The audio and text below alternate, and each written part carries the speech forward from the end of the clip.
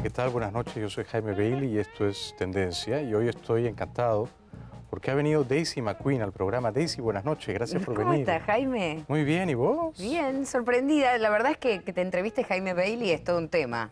Pero más sorprendido estoy yo. ¿Por qué? Porque ah, no, no, no correspondes a la imagen que tenía eh, históricamente de vos. Sí, bueno. Sos una versión mucho más bella y sobre todo mucho más comprimida. Sí, la versión 5.0 soy ahora.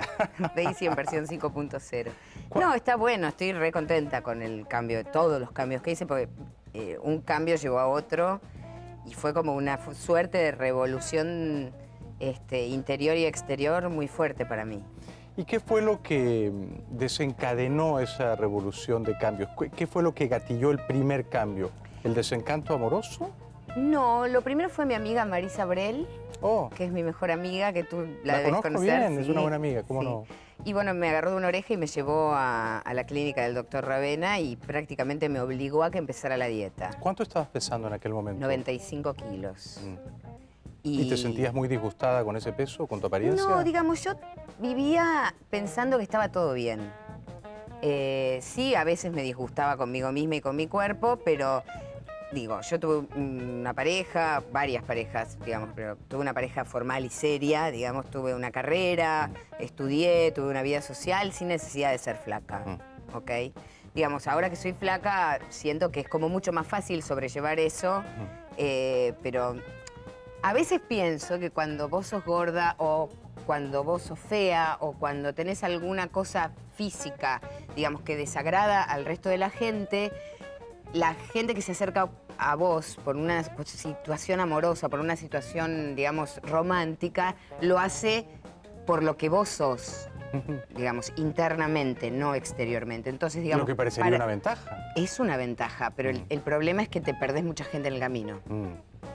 Pero gente que podría, interés, eh, podría tener interés en, una- en un placer más pasajero, más, más Exacto, fugaz. pero ponele que yo también tenga interés en un placer más pasajero. No lo puedo lo, disfrutar. lo que ha ocurrido, según has contado, ¿no? Sí, Ha ocurrido. ha ocurrido, está ocurriendo. Está ocurriendo ahora. Y sí, sigue ocurriendo. Con lo cual no hay ningún remordimiento en tus no, ¿por qué, por qué habría de haberlo? Sí, sí. Es solo sexo, es solo una cuestión carnal, no, Sí. no, no hay más rollos. O sea que desde que te has divorciado has tenido algunos otros eh, amantes de paso. Sí, sin embargo yo soy, eh, digamos, no, no, no creo en el amor que exista en este plano, pero sí soy una persona amorosa, Mm. digamos. A pesar de tener relaciones cortas o frívolas o como las que, carnales, como las quieras llamar, siempre, siempre, en todos los casos soy una persona amorosa. Mm, Pero, pero no, no amo. mm. ¿Y, y será verdad eso que alguna vez leí por ahí que los hombres aprenden a enamorarse de la mujer a la que desean y las mujeres aprenden a desear al hombre del que se enamoran? No, no sé. eh, tendría que analizarlo más profundamente, pero yo creo que las mujeres eh, no son las que deciden. Es el hombre el que decide a partir del deseo, ¿ok? Primero aparece el deseo en el hombre. Si existe el deseo en la mujer, bárbaro, compaginamos los dos. Pero me parece que el que se acerca siempre es el hombre. Si el hombre no desea a la mujer, por más que... Mm, Pero eso esté- confirmaría lo que yo sostuve, que en el hombre lo que origina todo es el Es deseo. el deseo, y- y la mujer antepone el amor al deseo y luego se acostumbra a desear. Yo creo que la mujer lo que quiere es que ese deseo permanezca para siempre y eso es algo absolutamente imposible. ¿Y en tu caso ha sido así también? Y sí, yo me he equivocado muchas veces, quiero qué? decir, y porque el deseo es una cosa que dura poco, como muchas cosas en la vida. Mm. Y las mujeres tenemos tendencia a estar bien y querer seguir estando bien. No, no tenemos tendencia al cambio, no nos gusta el cambio, no nos gusta eh, cambiar de peluquero. Imagínate si nos gustaría cambiar de hombre. Es como bastante Claro. más difícil el tema. O sea que la mujer tiene un instinto natural a la estabilidad, a Sí. preservar lo que ya Sí, conquistó. pero ojo, puede ser de otra manera. Mm. Digamos, puede adaptarse a ser de otra manera si comprendiera algunas cosas eh, que se niega Mm. a aceptar. Digo, el, el amor, la relación de pareja no es un cuento de hadas, no existen los príncipes azules, no es el amor como te cuentan las canciones ni, ni las novelas de Mm. literatura, eso no, es otra cosa. ¿Y qué fue lo más complicado de, de estar casada, de convivir, de soportar eh, la, la presencia doméstica de un hombre en tu vida para vos? Porque en las entrevistas que he leído, eh, más de una vez decís que, mm, que en realidad a vos te gusta estar sola, que te, que te incomoda y te irrita Sí, soportar sí. la presencia de alguien. A mí lo que me molesta es ceder. La primera batalla para ver cuál de los dos cede es la que define quién en la pareja va a seguir cediendo. Esa primera batalla yo la perdí y obviamente la seguí perdiendo durante el resto de, de la convivencia. ¿Y por Y qué era- la perdiste? ¿Porque venías predispuesta a eso? ¿Porque estabas...? No, porque desconocía el método, desconocía la dinámica, ¿ok?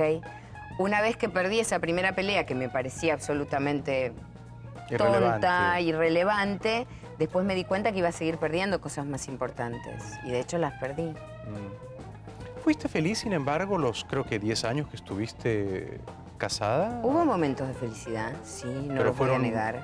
minoritarios? Digamos, hechas las sumas y las restas.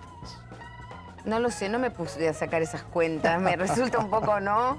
Como fuerte. Mm. Pero no, él es un hombre en esencia bueno. Yo no digo que, que la haya pasado mal con él. Eh, ahora, digamos, estamos.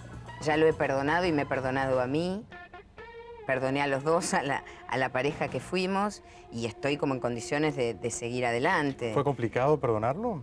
Sí. ¿Por qué? Porque mm, hubo una infidelidad de por medio, que no hubiera sido nada si yo hubiera sido informada. Mm. ¿Ok? ¿Te hubiera gustado ser informada antes de? Esas cosas se hablan en pareja, Jaime. Si, digamos, podés establecer una pareja abierta, podés establecer una pareja que sea distinta a la pareja convencional. Claro. Y está todo bien. Y, y antes de que esto ocurriera, lo habían hablado alguna vez seguramente. Yo habría hablado en varias oportunidades con él de, de tener una pareja distinta al resto, digamos. ¿Y había unas reglas tácitas que no se respetaron? Sí, sí, había reglas taxitas que no... ¿Cuáles no- eran esas reglas? Que si alguien deseaba a otro, se lo contaba. Exacto. a la pareja? Sí. Pero es que esto siempre se habla y uno hace estas promesas y está todo bien y luego nunca se respeta, ¿no? Lo que pasa es que, bueno, yo siempre fui una persona abierta, nunca fui una persona cerrada y siempre fui de comprender al otro. Mm. En, en muchos casos, viste, como te pasa en las películas, que si el protagonista es el ladrón, estás del lado del ladrón porque lo entendés perfectamente y sabés cuál es la capacidad que tiene, la discapacidad que tiene y por qué está haciendo lo que hace. Pero tenés que saber que es el ladrón y que, y que te puede robar y vos no lo sabías. Exactamente. Si yo no lo veo protagonizando una película o no me siento a charlar con él acerca de qué es lo que le pasa y por qué lo hace, yo no lo voy a entender. O sea que si él te hubiera pedido, digamos, permiso o autorización para explorar esa aventura que sentía que era inevitable, ¿le hubieras concedido ese Sí, permiso? definitivamente. Ah. Sí. ¿Sentiste culpa cuando se terminó todo esto, cuando colapsó la, la- la- la pareja? No porque había un motivo, un motivo que no era mío. Pero no sentiste a lo mejor yo como amante no lo complacía y él No, tuvo que ir a buscar en otra mujer lo que yo no era capaz de darle? No, jamás pensé en eso. No. No, Mejor, mejor. tengo una buena opinión mía como amante, o sea, de que jamás podría pensar eso. No. Y celebro que la tengas. ¿Y, y- y por qué la tienes? ¿Cuáles son um, las pruebas o evidencias para, para sostener ante vos misma que sos una muy buena amante? Yo lo siento, digamos, se siente en el momento en que suceden las cosas.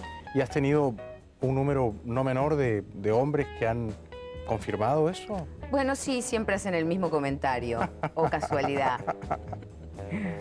¿Y qué hay que tener si una es mujer para ser una buena amante, íntimamente? Yo creo que hay que ser de- desprejuiciada. Claro.